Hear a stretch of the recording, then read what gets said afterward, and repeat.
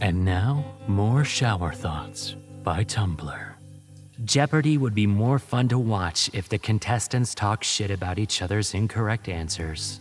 Friends who ask you, is everything okay though, when you make self deprecating jokes, are true heroes. The reason most people love foxes is because they look like a mashup between dogs and cats. Mars is the only planet that's inhabited by robots. As far as we know. Being afraid to check your bank account is the adult version of being afraid to check your grades.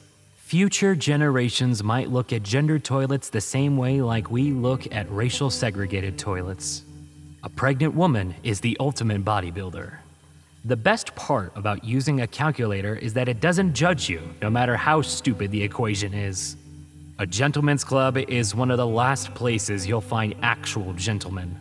Now that ad block blockers have been invented, ad blockers have invented ad blocker blocker blockers. And soon websites will invent ad blocker blocker blocker blockers. The best thing about Fallout 76 is even though that they're reaching way back in the lore, Billy is still stuck in the fridge somewhere.